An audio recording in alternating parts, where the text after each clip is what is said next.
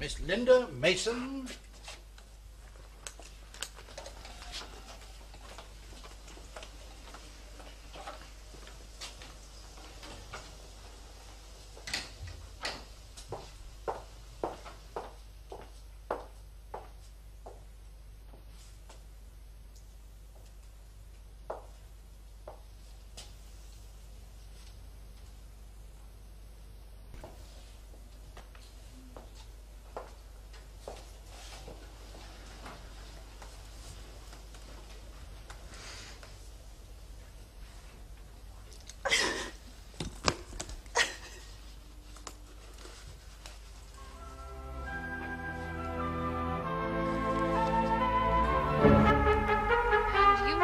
Mrs. Eden, that he telephoned you at your mother's home that Saturday evening, June the 25th, and asked you what time you were coming home on the Sunday, the following day. He did, yes.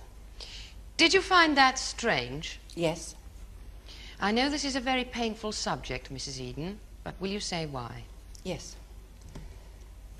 I wasn't intending to return at all, and Ken knew that. You had separated from him. Well, certainly we were going to remain apart for quite some time.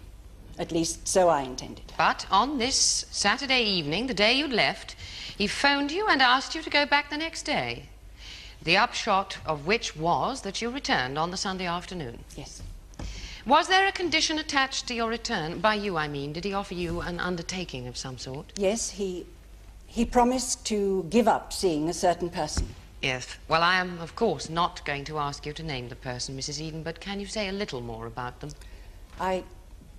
She was the wife of one of his business associates. They'd been having an affair which had been going on and on for a long time, causing great distress to her husband and young children. For, well, about six months at that time, I think. It was a very, well, what would you call it? A very engrossing affair, was it? Very much so. He was deeply infatuated with her. And he'd become, well, we'd both become, well, more or less total strangers because of it. He had no interest in you as a person, are you saying? Yes. He had no interest in me or anything or anyone else for that matter at all at that time. He was completely obsessed with her. Now, you went back home, as you said, on the Sunday afternoon. When did he first tell you that he was going to be charged with these offences for which he is now standing trial? Later that evening, the Sunday evening. And do you remember what your reaction was? Yes.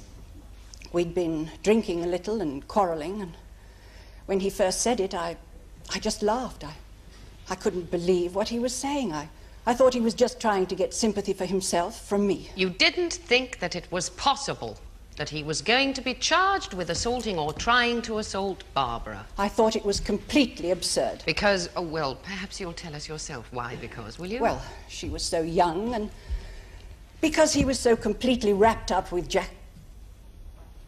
With this other woman that it just had to be absurd. But gradually you realized that he meant it. He really was going to be charged. Well, only after I'd talked to. I'd talked to Inspector Cripps, and he told me that it was true, and then I realized how serious it was. Serious? In what way, Mrs. Eden? Well, there'd been no one there in the house. And I knew as well as he that Barbara had had for a, a long time a sort of schoolgirl thing about him. I just knew that if she wanted to, she could make things look very bad for him. Do you believe that there could be anything whatsoever in such an allegation as she has made about your husband, Mrs. Eden? No, of course they couldn't. It's utterly preposterous. And finally, just briefly, Mrs. Eden, before you got to know Barbara, was there someone else who came to your home? Another girl, for a short time, to whom you and your husband were unofficial aunt and uncle? Uh, yes, I, I believe there was, but it, it didn't last. She only came for a brief time. Linda Mason. Yes, that's right. That was her name, yes. And she, too, is making the same sort of allegation against your husband, saying he was always trying to get her into a corner and so on. Did you know that? No. No. No, I, I didn't know that, no. But you'd say the same thing, would you? That knowing your husband, the suggestion would be quite preposterous. Oh, yes. I'm sure I would. Yes. Thank you, Mrs. Eden. Mrs. Eden, I think we all noticed something which sounded rather like a marked lack of conviction in your tone of voice when you answered that last question. And I'm wondering whether. With respect, Your Honor, I do not think that my learned friend should be let pursue that. Mr. Eden is not charged with any offences regarding Linda Mason. With equal respect, Your Honor, excuse me, I would point out that it was uh, my learned friend herself who introduced the subject into the cross questioning of her witness. Your Honor, it was the prosecution who brought Linda Mason into this case in the first. Miss Travers, Mr. Maitland Wilson, I was going to say myself that I thought perhaps that this was a subject which should not be taken too far. So may we now continue from there, please, Mr. Maitland Wilson? Your Honor. now, uh, are you all right, Mrs. Eden? Yes. I'm sorry. I just don't seem able to. I'm sorry. You see, it, it really is. It's all my fault. If only I'd been a, a better wife, none of this would ever have happened. Um, yes.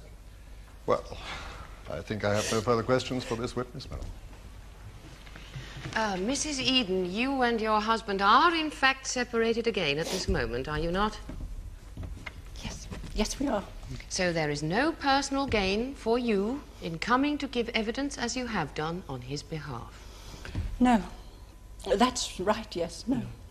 Thank you, Mrs. Eden. Thank you, Mrs. Eden. You may leave the witness box. That is the case for the defense, Your Honor.